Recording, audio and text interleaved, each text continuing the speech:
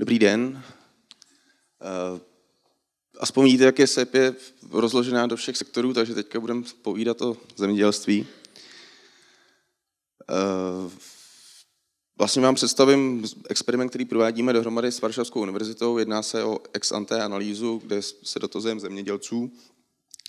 Eh, budu povídat o vlastně motivaci, proč to děláme, společné zemědělské politice, jak jsme ten dotazník provedli, udělali, jaký je vzorek farmářů a jaké jsou předběžné výsledky. Proč jsme se do toho pustili? Aktuálně vlastně už je schválená nová zemědělská politika, která bude platit od roku 2023. Co je na ní zajímavější, je větší subsidiarita, což znamená, že každý členský stát má větší volnost při zavádění i agroenvironmentálních opatření. Eh, společná zemědělská politika a Green Deal to jsou dvě různé věci, které se ale doplňují. V Green Dealu, jak už bylo řečeno, například můžete vidět Farm to Fork nebo Biodiversity Strategy. Společná zemědělská podnika, eh, politika je samostatný koncept, který ale samozřejmě eh, Green Deal nějakým způsobem doplňuje. Každý členský stát představil strategii, nebo aktuálně představuje strategii, jak dosáhnout deseti klíčových cílů, které jsou stanoveny ve společné zemědělské politice. Vlastně, co nás tady zajímá hlavně, je, eh, jak zemědělci eh, přistupují k agroenvironmentálním opatřením a jak je k tomu motivovat. Způsob motivace pro tu vyšší účast samozřejmě už nějaké studie řeší, co je zajímavé je na to podívat se v České republice, o co jde. Eh, to znamená, že ve spolupráci právě s Varšavskou univerzitou provádíme experiment, který by měl pomoci objasnit způsob větší motivace v přijímání agroenvironmentálních opatření. Konkrétně se ptáme na to, eh, zda zemědělec preferuje platbu na hektar, což je jako teď, v podstatě, to je teďka, co se děje, anebo jestli, když, dejme tomu, přijde odborník a změří biodiverzitu, tak vlastně platbu za výsledek jednou ročně. To jsou dva různý koncepty, takže teďka dostáváme za postup jednou ročně platbu, nebo je možnost, že přijde odborník a, a, a změří biodiverzitu a na základě toho bude e, zemědělec odměněn. Když se bavíme o agroenvironmentálních opatření, tak se bavíme zejména o ekologickém zemědělství, to znamená celá farma jede ekologicky, takže nepoužívá pesticidy, má různé postupy při uh, vlastně zemědělčení. Dále o integrované produkci, co se zejména týká vinné revy, ovoce, zeleniny, zase speciální požadavky na, na hnojiva a tak dále. Eh, pak travní, trvalý travní porosty, tam je důležitá intenzita chovu, aby se nepřekročovala. Pak samozřejmě zatravňování eh, orné půdy, pěstování meziplodin a biopásy. Co je zajímavé, tady na eh, datech, otevřených datech z FADN, podíl agromentálních dotací na celkových dotací. Tady vidíme, že vinaři v podstatě z 53% z celkových dotací tak dostávají agroenvironmentální dotace, když to úplně na konci jsou polní plodiny s pouze 3,9%. 3,9%. A to je právě taky jedna z těch motivací, proč se snažíme, jak se snažíme zjistit, jak tyto agroenvironmentální dotace, ten podíl zvýšit. Když se bavíme o e, zemědělství u nás, tak to vypadá zhruba tak, že 83% zemědělců hospodaří konvenčně a hospodaří na 84% veškeré půdy, kdežto ekologický zemědělců je zhruba 17% a hospodaří na 16% půdy. Tak, teďka přejdeme na náš experiment vlastně ve spolupráci s, s tou Varšavskou univerzitou. Ten experiment byl prováděn v Čechách, v Polsku, v Holandsku a v Německu. Takže jak vypadal vzorek našich respondentů, celkově jsme měli 98 farmářů, kteří obospodařovali zhruba 52 tisíc hektarů. To je celkem 1,5% celkové půdy v České republice. Většina půdy byla pronajímaná, pouze z 30% byla vlastněná. Ty půdní typy, nejvíce orná půda, potom trvalý travní porost a a velmi minimálně lesy, sady, vodní nádrže a další neužitná půda.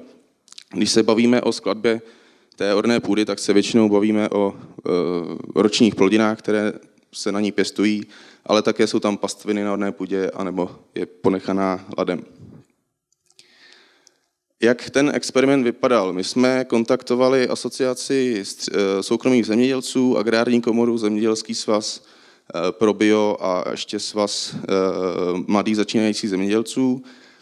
Skrze tyto asociace se rozeslal dotazník do e-mailu každým těm členům, kde byl proklik na, na web, který pak následně zemědělci, ten, ten experiment, který pak následně zemědělci vlastně vyplnili. Mimo socioekonomické otázky tam byla právě hlavní část, co se týká toho experimentu. To znamená, že oni nám tam vyplnili, kolik vlastní zemědělské půdy, orné, a v jedné té části jsme se jich ptali, pokud teda, jak máme v těch sloupecích na, eh, naznačeno, máme závazek založený na postupech, to je vlastně teď, jak to je, nebo máme závazek založený na výsledcích, anebo žádný závazek. A ptali jsme se jich, kolik hektarů orné půdy by na ten každý závazek dali. V případě, že jsme různě měnili ty částky, měnili jsme i rozptyly těch částek a tak dále. E, ta bonusová platba, tak to znamená to, že když ten zemědělec je v nějaké lokalitě a zemědělci okolo něj se taky chovají vlastně hezky, dejme tomu, k té biodiverzitě, tak dostanou bonusovou platbu. Takže to má motivovat vlastně společenství těch zemědělců k tomu, aby e, celá ta krajina v okolo nich měla i tu vyšší rozmanitost. Takže teďka přijdeme k výsledkům. Eh, co jsme zjistili? Respondenti většinou dávají přednost závazkům založeným na postupech, to znamená to, jak je to teď. Nechtějí v podstatě nikoho, aby přišel a měřil jim eh, biodiverzitu. Je to zajímavé, je na tom to, že to je v podstatě stejné ve všech, ve všech zemích. Eh, co je dále zajímavé, je závazek založený na výsledku. To jsou ty negativní čísla v České republice a v Polsku, tak ty právě tam spíš jako vůbec nechtějí. To by si radši ty zemědělci vybrali žádný závazek, než aby k ním někdo přišel. A je to pouze v České republice a v Polsku. V Holandsku se tomu nebrání, ale více preferují to, to jak je to teď. A v Německu, tak eh, tam to není statisticky významné. Takže to nebylo eh, driver toho rozhodnutí. Co se týká pladeb, tak tam je to tak, že pokud se teda roční platba zvyšuje, tak zemědělci preferují aspoň nějaký závazek před žádným závazkem, což je poměrně logické a bonusové platby nehrály skoro žádnou roli, kromě Holandska. Ještě jsme se podívali na variabilitu, to byl ten rozptyl těch různých uh, ročních plateb a tak. Tam se zjistilo, že to vůbec neovlivnilo uh, tu volbu ani v jednom směru. Pak jsme se snažili pozbírat i komentáře od farmářů, takže co jsme nějakým způsobem zjistili, nebo eh, co, co reflektovali, takže ty platby, které tam byly nabízené, které v podstatě ale i eh, eh, vlastně odrážejí tu realitu, jaká je teď, tak jsou nízké a vadí velká byrokracie. Farmářům dále vadí, že, nebo je možnost, že ty náklady na zavedení těch agromentálních opatření Eh, převýší ty výnosy. To ne, neříkám moje závěry, to jsou komentáře přímo od těch lidí, co eh, vyplňovali ten dotazník. Další velká, několikrát nebo mnohokrát se objevila skepce vůči měření výsledků. To je právě to, nevěří k tomu, jak to bude změřený, jestli ta metodologie měření té biodiverzity je správná a tak dále. A pak se taky objevila obecná skepse vůči, těm agroenvironmentálním opatřením obecně farmáři si jejich slovama myslí, že by to mohlo vypadat i jinak, ty agromentální opatření, že tím těch, jak jsem tady měl vyminované, tak jsou, nejsou dostatečné, nebo ty jejich parametry jsou jiné, než by teoreticky měly být podle jejich názoru. A dále taky, jak e, vlastně tady je 70% pronajaté půdy, tak výše nájmu je velký e, vlastně rozhodující faktor pro to, jak oni budou na té půdě hospodařit. Další eh, komentáře ohledně již prováděném agroenvy opatření, to znamená, že jsme se taky ptali, jestli už farmáři něco dělají a co teda dělají.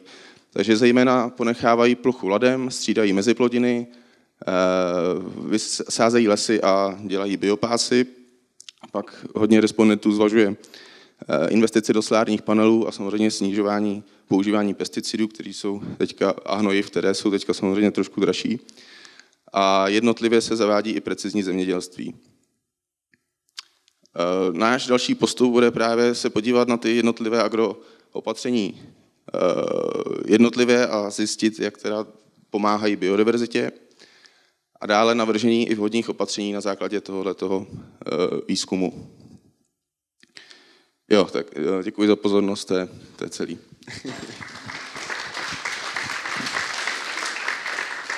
Děkujeme moc, krásně jste nám srovnal čas, tak eh, mám získávat nějaký čas eh, na otázku. Tak eh, máte od farmářů zpětnou vazbu, jak by podle nich agroenvy opatření měla vypadat, aby byla akceptovatelná? Například teďka, jak se jedná o ty biopásy, který by se neměly sekat, v podstatě nechat tam pruh biopásu a nechat ho úplně jak je tak to většina farmářů eh, komentuje tím způsobem, že co teda potom s tou hmotou, co tam zbyde. No tam začne hnít, začne se tam z toho něco jako dělat vedle na to pole, že jo, není to pro ně úplně optimální. Oni mi to nejradši aspoň jednou ročně posekali, znova to obnovili, ať tam roste cokoliv, ale prostě jednou ročně se toho zbavili. Jo, to byl jeden třeba k těm biopásům. No. Eh, ostatní úplně nemám komentáře. Zkusíme ještě nějakou další otázku? Mhm. Nejsou zajímavé korelace odpovědí s velikostí podniků a v Německu s lokalizací ve starých nových spolkových zemích? Eh, velikost podniku tam samozřejmě máme, ale ještě jsme úplně nešli do takových detailů, hlavně v České republice, protože těch respondentů máme jenom 98. To znamená, ty, eh, ty závěry nejsou úplně jakoby významný. Že jo? Ale dokážu si představit, že malý podnik se na to bude dívat jinak než velký podnik, což samozřejmě budeme v dalším postupu reflektovat, snažit se zodpovědět. Naše zemědělství je samozřejmě specifický, že v podstatě průměrně zhruba okolo 120 hektarů na podnik, v ostatních zemích je to pod 50, což je jako ohromný rozdíl. Že? Takže tady určitě bude fungovat něco jiného, než funguje v sousedních zemích.